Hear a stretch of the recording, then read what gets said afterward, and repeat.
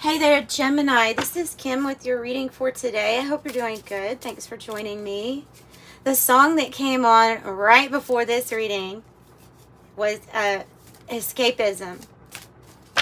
You're asking me my symptoms, doctor. I don't want to feel. I don't want to feel like I did that night. No, I don't want to feel how I did inside. Doctor, doctor, anything please. Doctor, doctor, have mercy on me. You're asking me my symptoms, doctor. I don't want to feel. So, I don't want to feel. I don't want to feel. Hmm. That's a feeling. I don't want to feel. Definitely a feeling. It's a strong one, right? All right. This um, is Dagaz. Transformation. Polarity. Reversal. Yin the yang. Counterbalance. Enlightenment. Change. Says reversing energy balancing forces, bring about change, self-transformation, uh, it sounds like the inner work, the alchemical weddings, what it's sounding like to me about bringing about change by joining the masculine and feminine energies within ourselves, which in a very easy, brief way to explain would be there's passive and there's action. And what is passive is what was it's what receives. Um, what is action? It's it's Mars, it's energy, it's in motion. So it's dealing with the emotions due to this counter, yeah, counterbalance of masculine and feminine. That makes sense. The key phrase is as different as night and day. Oh. I wonder if that's how somebody is going to describe you, talk about you, in a good way, or maybe that's how you're going to see yourself as, as different as night and day. Hmm. Well, if you're talking about the song, then you're going from a very heavy emotion to trying to achieve not feeling anything at all. You're, you're actually balancing it out. It's just, that's probably that way. I'm not saying that's what you're doing either. It's just that that's the song that came through. Oh, so there's just probably more healthier ways than others to get that balance, that same balance. There's nothingness. Well, I guess that's what you would be trying to get into. Maybe you're doing that. Maybe it's something about that. Okay, dawning of a new day. The caterpillar becomes the butterfly. Yeah, see, self-transformation, growth, major life changes, it says. Major life changes. It even looks like a, a butterfly. okay, mes messages you have for Gemini? Gemini, I open up, I'm sorry, I'm Kim. I open up to your spirit team and uh, all of our angels, our great angels here. Uh, if you want a private reading, those are 22 to $60. Three different prices in the description box below. And thank you for liking. Thank you for comments. I really appreciate them. That's the my most favorite part of the day and for subscribing and coming back to this channel which was created for you. Alright, Gemini. Transforming like night and day. Maybe we're feeling a lot of extremes too. That could be it. Oh, wow. Well, I mean, you have a lot of colors to shine. You have a lot of things to be proud of, is what they're saying with this card, because mainly that you're able to see this big picture. Um,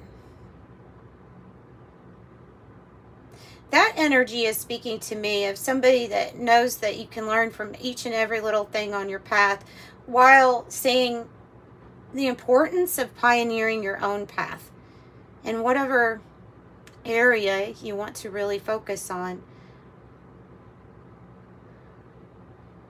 so that you can have a new experience, I think, but one that's not programmed, you know. Yeah, new experience. There you go. the new experience. That is the new experience. The uh, Great Serpent is the death rebirth cycle. It talks about a new cycle coming into your life. I don't know for some of you all that look at your numerology, it could be um, a period of years for some that this is a cycle wrapping up. Things seem to happen in seven year increments, but I'm sure there's other pinnacles in between.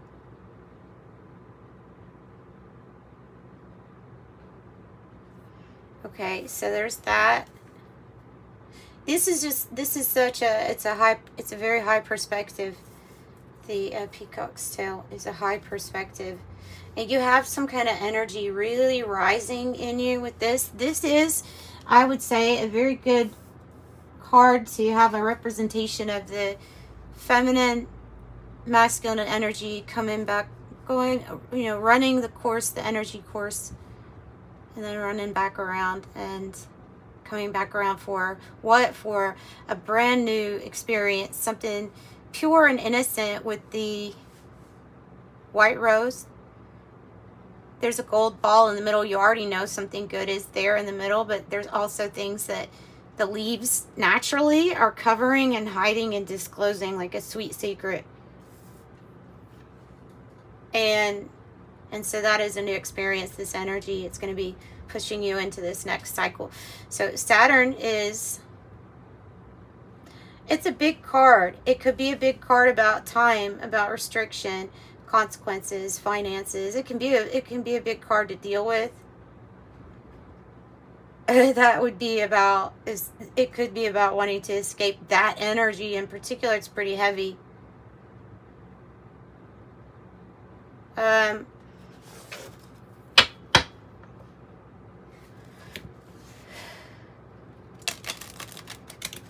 if it doesn't feel good, then maybe that's a, a sign that this struggle shouldn't exist either much longer or, or should not be here. Something needs to change with it, or you are conquering the elements of time, karma, and all of those things. There definitely could be some delays, though, because uh, I, with, with the Knight of Pentacle and the way it was shaped, is it could have well, the way that it came out shaped, the way that it came out. Could have been a delay. This is the circle of life. Oh, wow.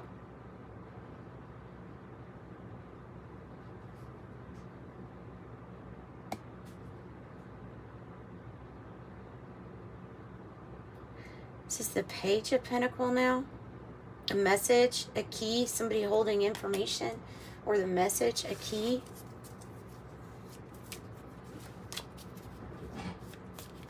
An investment, a seed to plant that's going to be um, prosperous. Why did it fall? Oh, well, that's nice. And that's nice.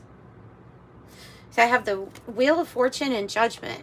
Those are good cards to get uh, because this would tell me that Spirit has some type of plan for you. Um, the steps, enlightenment, awakening. It's a, it's a lot of things. Uh, it could be like a rebirth or resurrection for you. Look at that Ouroboros twice. Did you see that? They look very similar the Ouroboros representing the, that death rebirth cycle. Oh, wow. Wheel of Fortune. Something is fated to go good for you. That's the message I'm supposed to pass on. Yeah, something is going to go good for you. This is the justice energy that popped out. Mm. Things are balancing out for you especially in the realm of karma. For others, for yourself, you'll see it all. We're here to see it all. You'll see it all. There's no wishing or ill intent on anybody. There's just a, this is how the universe works. Like that. That's what I'm getting off of that. And that something has to be balanced. Yeah, because you've been in this energy here of the Four of Cups, which is um, something just not satisfying you in your current environment. You're so over it that we become withdrawn. Just want to do our own thing.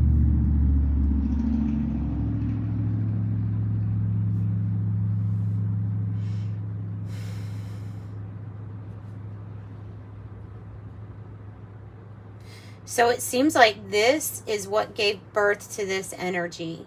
And because of the inner work, self care, and transformation that was done on the inside, it gave birth to the red and white rose.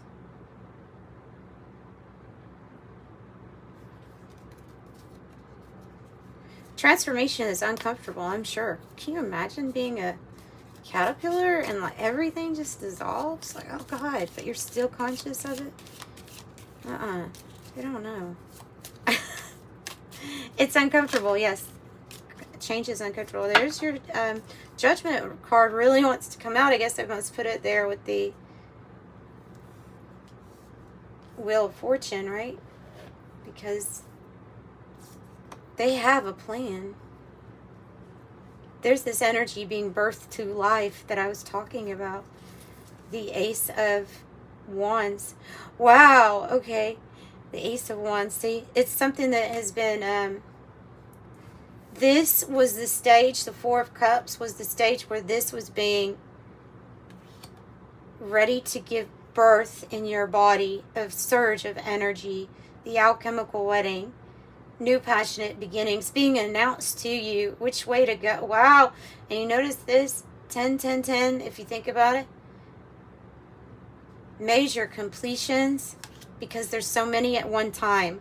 That might be why it's so something might be a little uncomfortable. You have the lover's energy.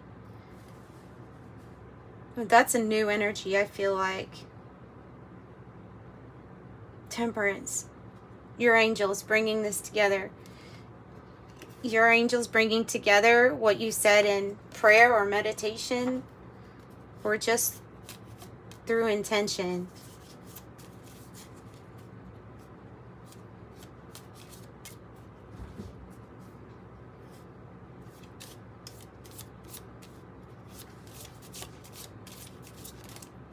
And this is the reason this manifested, this great thing manifested from this place was because of you being completely in your own authenticity, true to yourself. So when the good, so what I mean by that is when the good stuff starts rolling in, and then all of a sudden you're feeling more positive to say more positive affirmations and things like that. Although those are great, like I'm not going to discourage that. But know that it was your authenticity that manifested the great thing. You being true to yourself, true to every feeling and even feeling them and being willing to feel them that manifested it. And so, because sometimes we can get on a trap where we feel like, what was that dark night of the soul, that depressive time all about? And then we think that the, the trick was the start of when this energy comes in. We think we, maybe we did it with our positive affirmations, but it's it's more about being true to yourself that brought that good energy about. And so when we try to do things that we think was the reason it came about and we fail, then we get really hard on ourselves. And we're like, but I'm so positive. and it's because it wasn't that that brought it. Um, I know that's is probably a different, I have a different view on manifesting. And, and i feel like this being true to yourself got you more in alignment with this good energy to come. Even if you are the i don't want to hang out with you all. Boo. Debbie downer sometimes. Okay. Well even if that was that was you it's okay because that's your that was who you were authentically being at that time and it served you well is what i'm getting. Uh and this uh lover's energy is a new i think it's a new soul that's a soulmate. It's a soulmate, but it's also representing a crossroads where you're going to have the option to leave something behind emotionally disconnect from something that's very dissatisfying at this point. That's that's why this card came out. And you have the strength card. Wow. So strength and power and confidence. Uh, you can grapple with that lion at this point it's good to be strong. Know you're strong and say things that are true to yourself.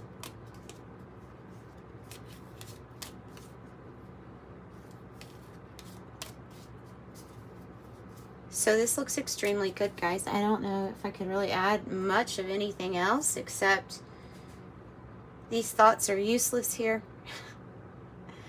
when it comes to being productive, the eight of eight of swords is a you see how the swords are broken. I love this card because you see how the swords are broken. He's been trying to chip away at an issue or a problem in their mind and when they do that, each of these swords get broken because they're wasted thoughts. they're wasted thoughts. It's not it's not productive thinking, it's anxiety. It's a uh, it's futile is what it feels like. It's futile. That energy. All right, let's pull from the um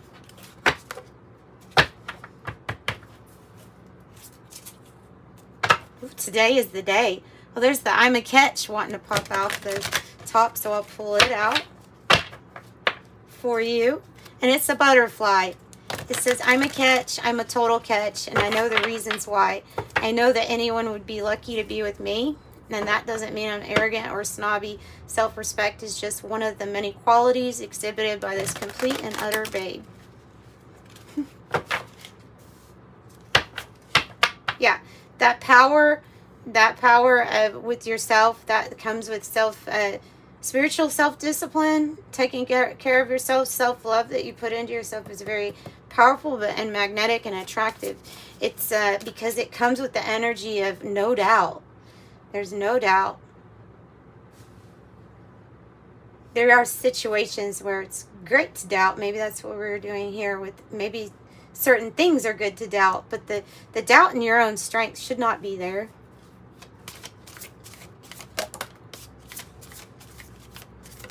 simply because it wouldn't serve you. Look, today is the day came out.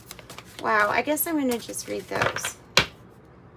Yeah, confidence right there on the bottom. Have confidence.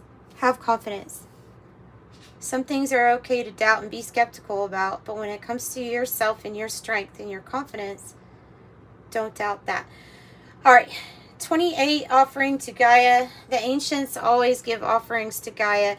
If you're wondering what you can give, know that an offering to Gaia could simply be to ponder the love of God daily. That's a Kryon card.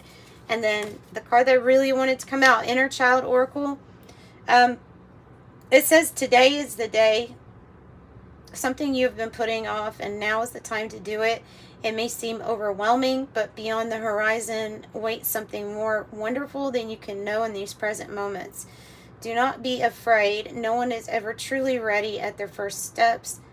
It is not perfection that we seek, but a life lived fully.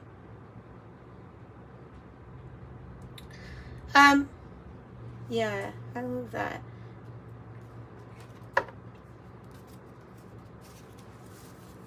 Okay, some oracle.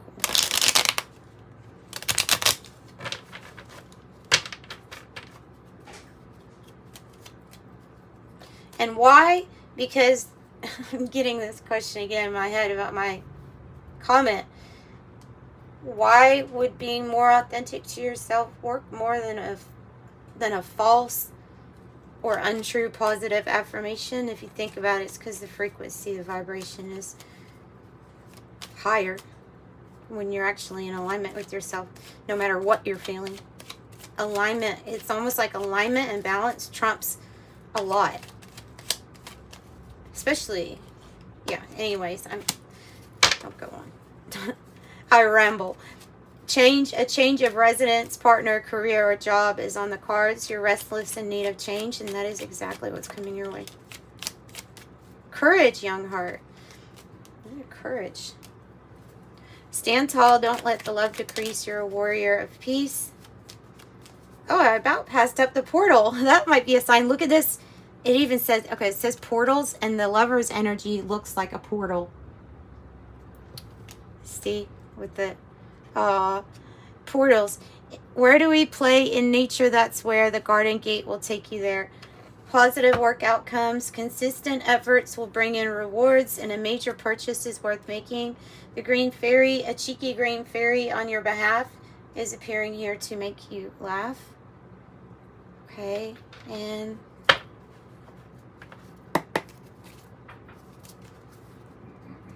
childhood and crack shot. Means you're really good at something.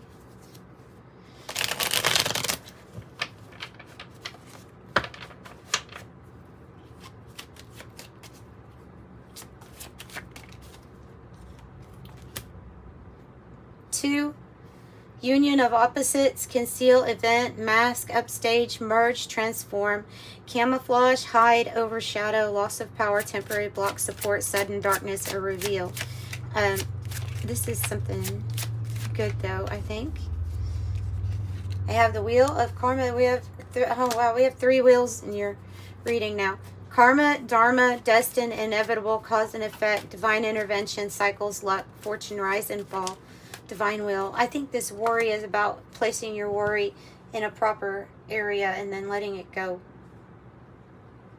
Mm. I think there's something to be said since it says worry beads about what could soothe you, what could calm you. The idea of the worry bead is to use your consciousness to transfer your anxiety and your worry into the representation of a physical object. I believe it probably works.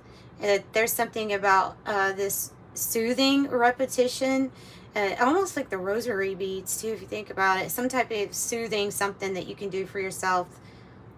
Um, yeah. All right. Calm. Calm thyself. My mom used to say that a lot. Calm thyself. Symphony. Harmony, synergy, co-create, assemble, organize, structure, contribute, team, collaborate, precise, arrangement, order, lead, follow, cohesion. Broken vase in the reverse. Don't worry because you overcome whatever it is that you're needing to overcome at this time. You may have had a temporary setback and that's about to be released. This is like a, a block. It's being released. It could be an abundance block, financial block, uh, whatever it is. Like it's becoming conscious of what the block is, overcoming it, releasing.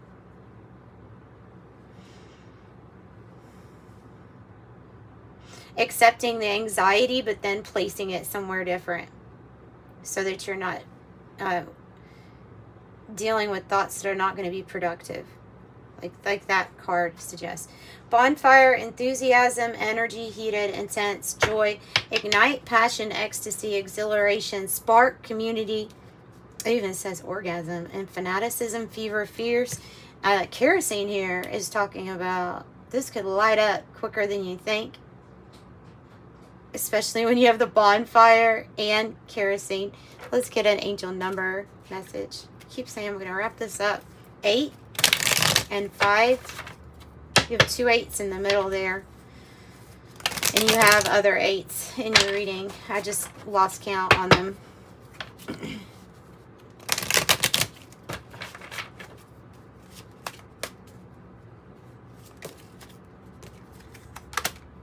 the 10 10, 10, 10, 10, 10.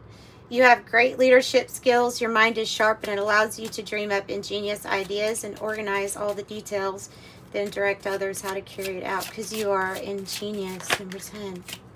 And here's um, a multiple of 10, 20, 10, 20. You relate to others on almost a cosmic level. You are dedicated to building harmonious relationships of all kinds. You have the ability to persuade others your point of view by using gentle means and harmonious. Okay, that one wants to come out, and this one.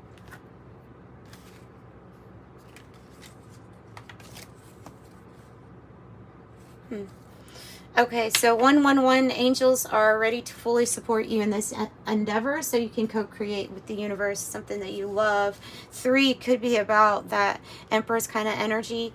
It does so it's talking about how you express yourself. Your colors, your pride in that. Expression comes naturally to you. You are skilled at communicating your thoughts through conversation and creative pursuits. And your angels here too with the threes uh, three ones. I am charismatic. And 19 says independence and self-sufficiency are necessities to you. You are extremely capable in life and work. You aren't take you aren't afraid to take the big risks. Like I said in the very beginning, you are a pioneer. You're here to pioneer your experience so that you can enjoy it more because it's it'll be something new to you. 16, this card, it feels like it's you're in the middle of a transformation, and that's why maybe near the end of something. Not an end, though, really, right? And that could lead to a new chapter where there's other things to improve on or plateau on. Who knows? It's your experience. 16, you have an inquisitive mind that allows you to uncover important truths. You have a special ability to read into other people's feelings. Okay. Hmm. Well, that could get overwhelming, I think. A wisdom seeker and your angels ask that you share your knowledge for the benefit of others. So if you're being guided somehow to share your knowledge with others, then that might be also a, a confirmation for you. I am perceptive, so it's important that your perception secrets are being shared in a way could really help somebody experience life in a totally different way.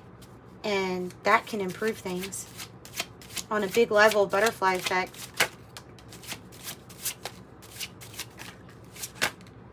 Wow. Yeah, okay, 12, it says, ascension number 12. Maha Parinirvana plane. Guide humanity towards a multi-star system. Guide humanity towards a multi-star system. Telepathy, thought reading, extrasensory perception, ESP. Mind reading, telepathy, clicking in with another soul. Probably, I don't know, I have theories that it, you can absolutely not prove at all. so I should just keep my mouth shut on that then. I'll keep my mouth shut on that until more studies are out, I guess. So astrology, ancestral knowledge, and energy healer, Reiki, chakra healer, crystal healer, healing touch, etc. Yeah, I've had um, I have had a, a rose quartz like right next to my heart space for the last two days. It's really helped my mood. I don't know. It might be psychological, but if it is, then it works. So, and then the green fairy. Did I read the green fairy? A cheeky green fairy on your behalf is appearing here to make you laugh. That's where we'll end it then. So I'm sending you love and light. Bye, Geminis.